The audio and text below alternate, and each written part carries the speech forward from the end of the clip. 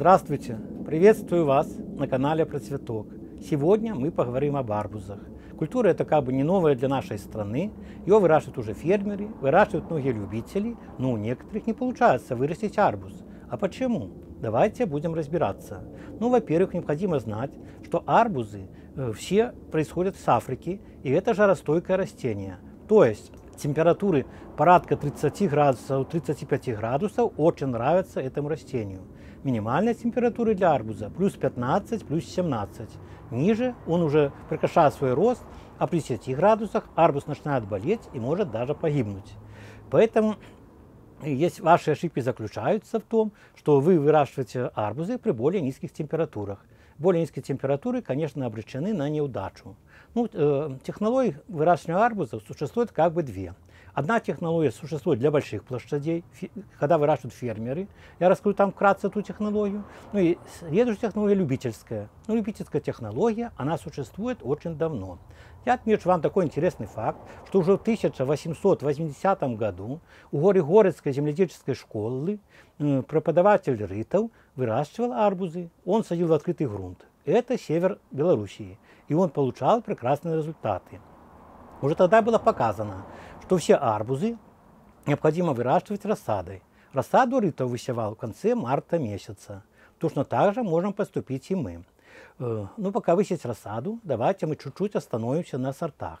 Сортов арбуза существует, конечно, очень много. Ну, самый популярный, конечно, Sugar, Sugar Baby или сахарный малыш э, на русском языке.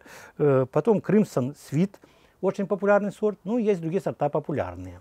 Ну, соответственно, зацикливаться на сортах сильно я не хочу, потому что можно прорекламировать сорт э, какой-то фирмы, и вы будете потом искать, а вы можете не найти. Поэтому исходите из того, что есть в магазине. Что необходимо обращать внимание? Самое первое в условиях Беларуси, на что необходимо обращать внимание, чтобы сорта были э, э, ультраранние, ранние, ну, в крайнем случае, средние. Поздние сорта не пойдут для нашего выращивания. Почему? Потому что ранние сорта могут дать урожай на 50-60 день после всходов, вот, а поздние сорта 95-й, 100 день, то есть через 3 месяца. Ну и добавок не забываем, что э, дни, эти дни э, не совсем это сам как бы точно отражают характеристику. Это при оптимальных условиях. Когда температура будет не меньше 30 градусов, арбузы в это время начнут плодоносить. Если у нас прохладное лето, температуры более низкие, ну, соответственно, срок созревания арбуза уже удлиняется, и наши арбузы начнут созревать где-то в августе месяце, что не есть хорошо. Потому что в августе уже холодные ночи становятся, день то теплый, ночи холодные, и арбузы еще дальше начинают зреть еще медленнее. Поэтому они в августе начинают зреть, а созревают к концу сентября месяца.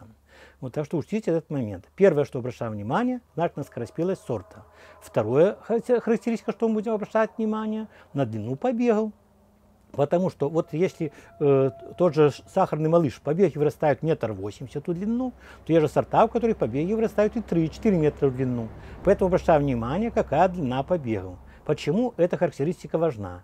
Ну, потому что чем длиннее плеть, тем позже созревает этот сорт арбуза. Запоминайте, эти признаки взаимо, взаимосвязаны. Ну и дальше, если вы будете выращивать теплицы, сами поймите, что длинноплетистые растения вам не очень, то и подойдут. Ну, следующее, что необходимо обращать внимание, ну и что, кто обращает внимание на величину плода. Плод, например, самых ультраранних сортов обычно бывает ну, 2,5-3 килограмма. Э, более поздние сорта могут дать до 7 и даже максимум 9 килограмм. Ну вот какую урожайность арбуза следует ожидать при выращивании в условиях Беларуси. Значит, вы знаете, что с одного растения вы можете собрать 2, максимум 3 плода, если будете выращивать арбуз в открытом грунте. Если будете выращивать арбузы в теплицах, под пленкой, стеклом, поликарбонатом, это не так важно. Вы можете собрать 4 плода, то есть в два раза больше.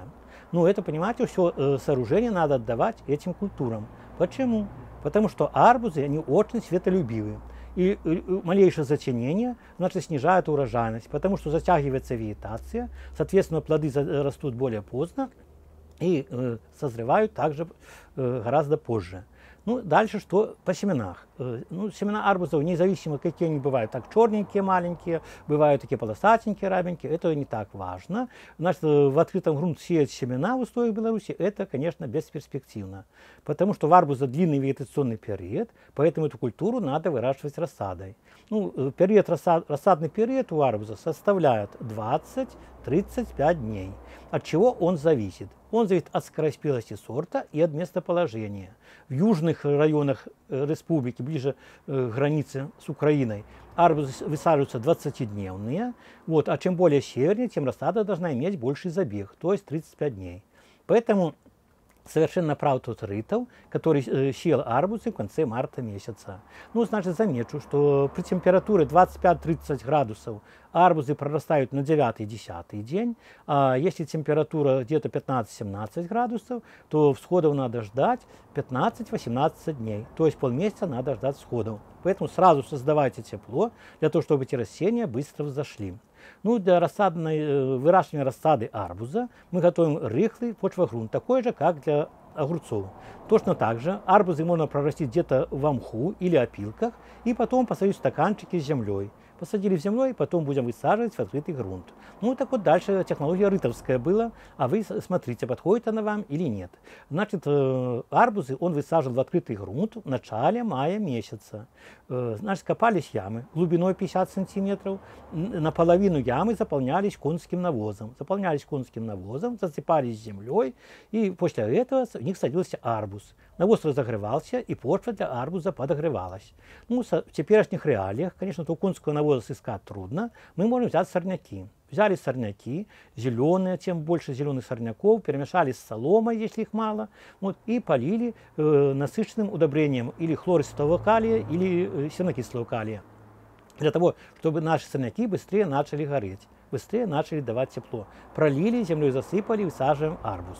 Ну и дальше что, хит, хитро следующее было, что в начале мая у нас в условиях Беларуси, даже на югах, не говоря уже о северной части, бывают заморозки.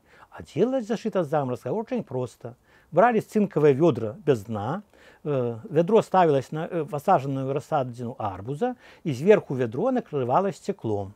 И вот арбуз в такой мини-тепличке значит, жил до начала июня, пока те ведра не снимали, пока не, угроза заморозков не уходила. Что дает? Цинковое ведро днем награется, э, отдает тепло почве, ночью начинает остывать. Ну, почва э, за счет э, стекла и этого тепла остывает гораздо медленнее, и арбузы, арбузы себя чувствуют гораздо комфортнее. Дальше снималось э, это укрытие.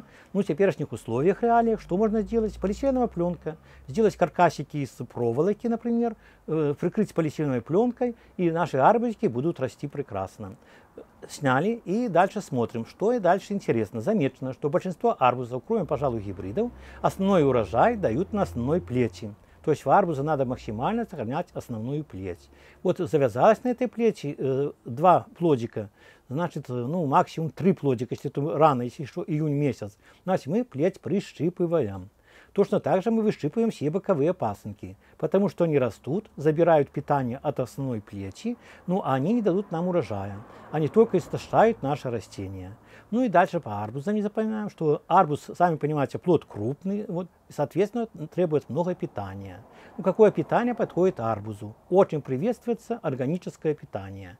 Это может быть те же самые гуматы, это могут быть э, те же удобрения типа бочки, это самое название торговое, это могут быть э, другие э, удобрения, это даже та же сорняки. Настой сброженных сорняков точно так же можно использовать для подкормки ваших арбузов. Ну и не забываем, что арбузы, значит, э, особенно ближе к осени, э, в августе месяце, они могут просто-напросто выросшие плоды загнивать от холодной земли. Поэтому под арбузы мы подкладываем или дощечки деревянные, или куски пенопласта, чтобы арбуз где-то лежал на теплой подушке. И дальше вы собираете богатый урожай арбузов. Ну, в промышленности, конечно, где большие плантации арбузов, где садить по 5 и по 10 гектаров, технология немного другая. Технология там на чем основана, что значит э, готовится почва, Почва для арбуза должна быть только легкая и плодородная. На тяжелых почвах арбуз не растет. Как бы вы ни старались, на сугленьках он не вырастет, потому что почва тяжелая, ему холодно. Только песчаные почвы подходят для этой культуры. И вот делаются, э, эта почва пашется, на этой почве раскладываются рулоны пленки. Разложили рулоны пленки, концы поприсыпали, оба края засыпали землей, и потом делаются крестообразные надрезы и высаживаются арбузы. После этого устанавливаются дуги э, и с поликарбонатом, и под этими дугами арбузы растут. Что дает такая, такая технология? Значит, пленка нагреется, соответственно, она греет почву. Почва э, становится более теплой. Далее, арбузы, которые вырастают, они тоже не лежат на земле, они лежат на теплой пленке. Пленка нагрелась, они лежат на теплой пленке, и, соответственно, они не гниют. Поэтому смотрите, вот вам две технологии. Одна технология любительская, вторая промышленная. Вот. Но все равно укрытие необходимо и в том, и в другом случае. Ну, конечно, некоторые любители просто делают точно так же, берут э, черную пленку, растягивают, только более узкую, по длине этого парника, который у нас есть, э, садовод называется, растянули этот парник и там садят э, арбузы. Ну, расстояние при посадке арбузов друг от друга составляет метр пятьдесят. Не надо загущать ваши арбузы, потому что эта культура все-таки требует свободы. Если вы загустите, вы не получите большого урожая. Ну и что, что необходимо помнить, что арбуз – это культура, которая должна опыляться пчелами.